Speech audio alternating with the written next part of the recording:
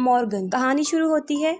और हम देखते हैं एक प्राइवेट जेनेटिक इंजीनियरिंग कंपनी जिसका नाम सेंसेक्ट होता है, मुख्तलिफ़ प्रोजेक्ट्स पर काम कर रही होती है। वो लोग दरअसल एक इंसान बनाना चाहते थे। एक ऐसा इंसान जो हर तरह से किसी आम इंसान से ज़्यादा तेज हो। उन्होंने अपने इस मिशन का आगाज़ हाइब्रिड बायोलॉजिकल ऑर्गेनिज्म से किया। लेकिन वो बायोलॉजिकल बिल्कुल भी नहीं था। और साथ ही उन लोगों ने डीएनए के साथ नैनो टेक्नोलॉजी को भी इस्तेमाल किया। और साथ में उन्होंने नर्वस सिस्टम को यूटिलाइज किया। यानी पूरे पूरे नर्वस सिस्टम को धोखे में रखने वाली बात है कि उनका जो सब्जेक्ट है, उसका दिमाग और पूरा नर्वस सिस्टम उन नैनो पार्टिकल्स को भी एक्सेप्ट करे। अपने इस मिशन में वो लोग कामयाब हो जाते हैं और मजीद अपने एक्सपेरिमेंट को आगे लेकर बढ़ते हैं। इस एक्सपेरिमेंट के बाद जब पहला प्रोजेक्ट पूरा हो जाता है और एक सब्जेक्ट पैदा होता है, लेकिन उसकी हालत काफ़ी खराब होती है। शायद इसकी वजह ये होती है कि सब्जेक्ट के डीएनए ने उन नैनो पार्टिकल्स को एक्सेप्ट नहीं किया होता। और वो इससे बाहर निकली होते हैं। इस एक्सपेरिमेंट में उनका सब्जेक्ट फेल हो चुका था। इसके बाद दूसरा सब्जेक्ट पैदा होता है। वो वैसे तो ठीक होता है लेकिन उसके दिमाग में थोड़ी बहुत खराबियाँ रह जाती हैं। लेकिन इन दोनों एक्सपेरिमेंट से वो काफ़ी कुछ सीख चुके थे। इसके बाद तीसरा सब्जेक्ट पैदा होता है और फाइनली वो एक परफेक्ट सब्जेक्ट पैदा करने में कामयाब हो जाते हैं और उसका नाम मॉर्गन रख देते हैं। वो पैदा होने वाला सब्जेक्ट बच्ची थी, लेकिन इंसान नहीं थी। उसके सारे इमोशंस बिल्कुल इंसानों जैसे थे। इंसानों जैसे जज्बात होने की वजह ये थी कि जो उसके अंदर डीएनए डाला गया था, वो इंसानी डीएनए की एक कॉपी थी। उस कॉपी का नाम नैनो था। लेकिन इसका फ़ायदा था, क्योंकि उसकी सेल्स की ग्रोथ भी अच्छी हो जाती, वो बीमारियों के खिलाफ भी लड़ सकती थी अम्यून सिस्टम भी अच्छा था हीलिंग पावर इंसानों से काफ़ी तेज थी और दिमागी सलाहियत भी इंसानों से तेज थी। इसको आप ऐसे कह लें कि वो आदि तो इंसान थी, लेकिन आदि मशीन लगती थी। इसमें बाकी सब तो मौजूद है, लेकिन सोल नहीं, जो कि इंसानों के पास मौजूद होती है। और शायद ऐसा सब्जेक्ट दुनिया की कोई लैब भी नहीं बना सकती थी। इस प्रोजेक्ट में कुछ खास लोग काम कर रहे थे,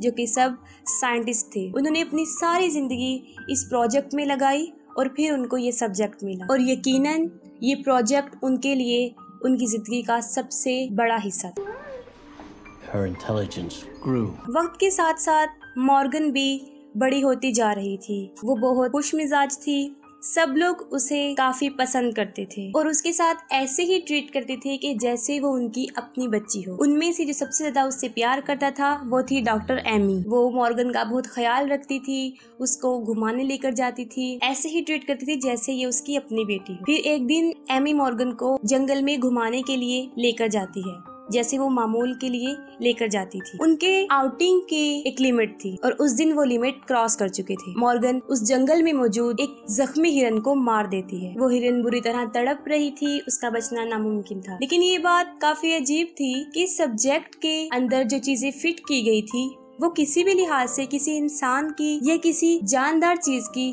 जान लेने वाली चीज़ें नहीं थी। ये देखकर उन सब डॉक्टर्स को काफ़ी अजीब महसूस होता है।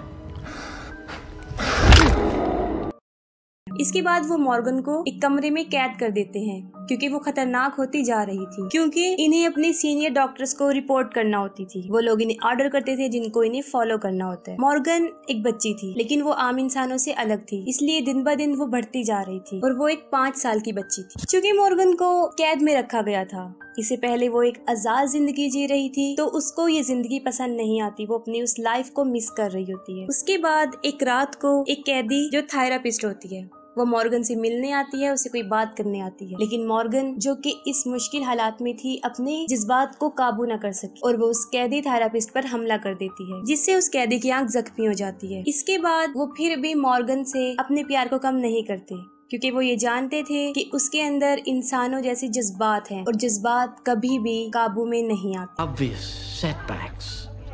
This project is heading in the right direction. ये मामला काफ़ी संजीदा होने के बाईस उनके हेड ऑफ़िस तक पहुँच जाता। है उसके बाद मॉर्गन को शक की निगाह से देखा जाता था। वो लोग ये समझते थे कि शायद इस सब्जेक्ट को बनाने में हमसे कोई गलती हो गई है। उसके बाद वो कुछ स्पेशलिस्ट को वहाँ पर भेजते हैं कि वो सब्जेक्ट को चेक करें। अगर हमसे वाकई ही कोई गड़बड़ या गलती हुई है तो उसे खत्म कर दिया जाए। इस मिशन को टैकल करने के लिए एक फीमेल डॉक्टर को भेजा जाता है, जिसका नाम लिवदर्स होता है। वो काफ़ी स्ट्रिक होती है, जो अपनी मैटर्स को बहुत स्ट्रिक्टली सॉल्व करती है। वो आते ही सबसे सवाल करना शुरू हो जाती है और उसको इस बात का पता चलता है कि सब लोग सब्जेक्ट से काफ़ी क्लोज हैं, जिसको वो अच्छा नहीं समझती। और वो जख्मी थेरापिस्ट वो भी इस हादसे को मॉर्गन की गलती नहीं कहती, बल्कि वो कहती है कि इसमें मेरा कसूर था। उसके बाद मॉर्गन की दिमागी हालत को देखने के लिए एक साइकोलॉजिस्ट डॉक्टर एलम को सिलेक्ट किया जाता है कि वो उसका दिमाग चेक करेंगे और ये चेकअप होने के बाद वो इस बात का फैसला करेंगे कि मॉर्गन नॉर्मल है या नहीं? बाकी डॉक्टर्स उसको समझाते हैं कि आप मॉर्गन से ब्राह रास्त बात नहीं करेंगे, बल्कि उसके रूम से उस पार बात करेंगे, क्योंकि यह हमें रिस्की लगता है, लेकिन फिर भी डॉक्टर नहीं मानता। वो उससे सामने बैठकर बात करना चाहता है। इस पर बाकी डॉक्टर भी एग्री हो जाते हैं।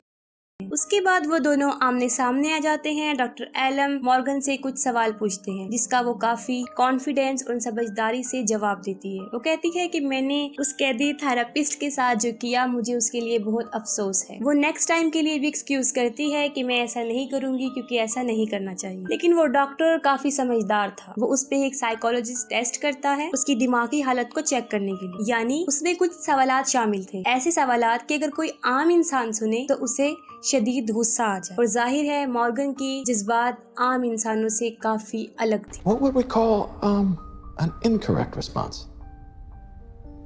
ये सुनकर उसकी हालत खराब होना शुरू हो जाती है। और डॉक्टर एलम जब उसे खत्म करने की बात करता है क्योंकि मॉर्गन ये नहीं चाहती थी। वो शदीद गुस्से में आ जाती है और डॉक्टर एलम पर भी हमला कर देती है और उसके गले पर काट लेती है। यानी वो अब आम इंसानों के लिए किसी खतरे से खाली नहीं थी। उसके बाद मॉर्गन को बेहोश कर दिया जाता है और डॉक्टर ली सबको ऑर्डर देती है कि मॉर्गन को खत्म कर दें। और वो ये सोच लेते हैं कि हमसे ये फेल सब्जेक्ट पैदा हुआ था। सब लोग इस बात पर राज़ी हो जाते हैं। लेकिन अभी भी उनके दिल में मॉर्गन के लिए प्यार था। और सब लोग उसे मारने की तैयारी करते हैं। और उसे बाँध दिया जाता है। मगर उनमें से एक डॉक्टर होता है, डॉक्टर डेरन। वो कहता है कि मैं मॉर्गन को नहीं मारूँगा। जैसे ही वो इनकार करता है, लीक की और उसकी आपस में लड़ाई हो जाती है। इसके बाद वो लोग मिलकर लीक को बेहोश कर देते हैं और मॉर्गन वाले कमरे में बंद कर दिया जाता है। वो लोग फैसला करते हैं कि हम लोग यहाँ से भाग जाएँगे और मॉर्गन को भी साथ ले जाएँगे। जब वो मॉर्गन को मारने की तैयारी कर रहे थे तो मॉर्गन उन्हें बहुत इंसिस्ट करती है कि वो मुझे मत मारे। मैं जीना चाहती हूँ। उसके बाद वो मॉर्गन को बेहोश कर देते हैं, डॉक्टर लीक को वहाँ कैद कर दिया जाता है और अपने साथ मॉर्गन को ले जाते हैं। ले जाने के बाद जब वो मॉर्गन को दोबारा होश पे लेकर आते हैं तो वो सब पर हमला कर देती है। डॉक्टर डेरन को भी मार देती है। उसके सामने एक आदमी खड़ा था, उसे इंजेक्शन देकर खत्म कर देती है। क्योंकि अब मॉर्गन काफ़ी बदल चुकी थी। इसकी वजह ये थी कि एलम ने जज्बाती कर दिया था। उसके गुस्से, उसके जज्बात को ललकारा था। क्योंकि ये सब होने के बाद वो किसी को भी अपना फ्रेंड नहीं समझती। वो समझती है कि सारे उसके एनिमीज हैं, वो सबको मार देती है, सिवाय डॉक्टर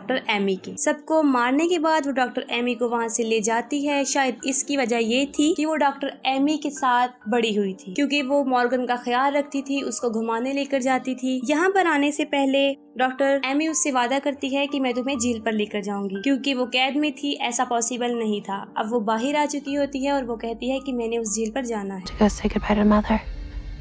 एमी बहुत परेशान थी। उसे समझ नहीं आ रहा था कि वो क्या करे। और दूसरी तरफ़ डॉक्टर ली, जिसका मकसद ये बन गया था कि वो फेल सब्जेक्ट को मार दे। वो मॉर्गन का पीछा करती है, वो दोनों एक जंगल में मिलते हैं।